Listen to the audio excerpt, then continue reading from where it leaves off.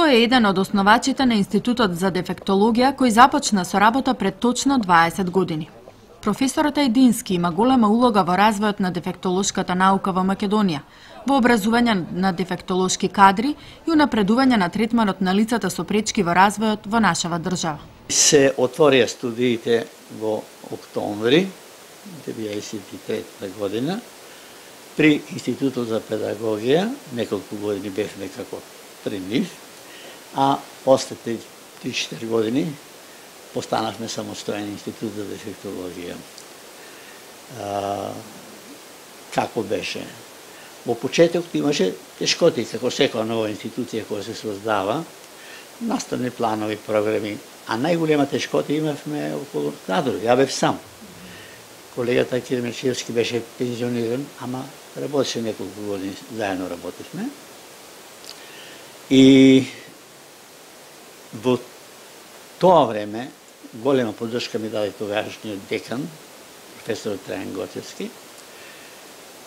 Дури памтам уште неговата реченца кога каже за вашите студии конкурсот е отворен. Колку асистенти сакате, толку ти сам не може. Ја зедов првата асистенка, сегашната професорка Зора Јачева. После дојдеа други Ево деканот што е на факултетот, тој беше втор асистент. А, но и тај проблем кадровски го решивме благодарение на помошта на дефекторскиот факултет од Белград. 3-4 години доваѓаа професори од Софија исто така катедра за специјална педагогија праќаше неколку професори. За многу предни имавме професори од тука од, од институтите на факултетот и се разреши тој проблем.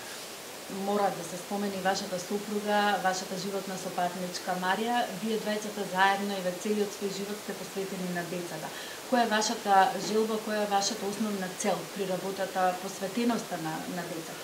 Некако природно, биолошки осеќавме потребата да помогне, да помагаме на децата. Она се посвети на детството предучилишна возраст, ја на лицата, а посебно на децата со пречки во развојот.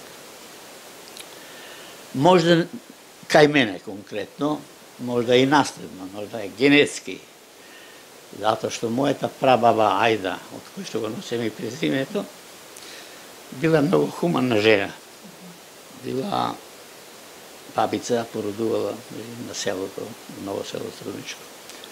Меѓутоа, и била хуманна, спремна секпат да помогне на семејство што немали ништо. После мојот дедо, нејниот нук, е, тој бил исто хуман, тој завршил адвокат, бил адвокат и ги бранел сите сиромашни луѓе. Не им не платувал од рад. А иначе бил дова силен адвокат. Професорот Лјупча Едински е добитник и на највисоката државна награда 11 октомври во 2006 година. За неа тој потврди дека представува лично признание за неговата долгогодишна работа, дека ќе биде аманет за помладите генерации да не го испуштаат одот на современите цивилизации. Во тоа време се деси да се организира некоја сојдно совjetување со дефектолозите, па бев поканет. Ја прв пат става проблематика, така широко се запознав, И кога се вратив, реков јас кај вас тука во секторот ќе работам на, на проблемот на, на инвалидните лица. И почнав да размислам за програми во и така натаму. Почнав да ги отварам институциите. За среќа и разбирањето тогаш на одговорните во тој орган ме пратија да учам јазик. Потоа конкурирав на Обединетите нации за една стипендија, заминав на специализација 62 година во Англија, Шведска, Холандија се награди со знаење, со пракса и кога се вратив почнав да ги правам програмите за отварање на институции во Македонија за сите категории. Како вас сега ве поминуваат пензионерските денови? Не сте типичен пензионер, постојано сте активни. Па до, тоа баш такав да го кажам. А, јас не се осеќам како пензионер. И многу души кои ме гледаат дека на што се должи тоа? Прво физички вака. Да. А иначе времето ми е стално исполнето. Не тука на, на факултетот, после пензионирањето неколку години држав настава на постдипломски студии, одбрани на магистерски тези, на докторати.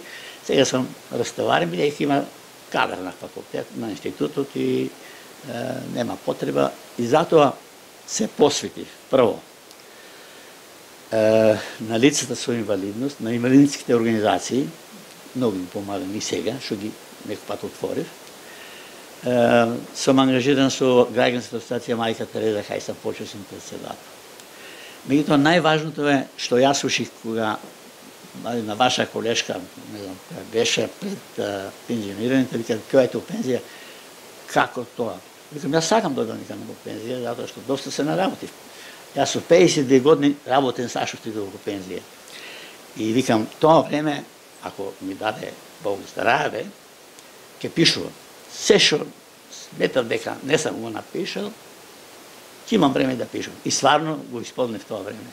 Ево, ја отидох од 2000 година во пензија, сега сме веќе 13-та. Од тоа до сега едно 5 монографии, книги, учебници, што не бев ги допишал.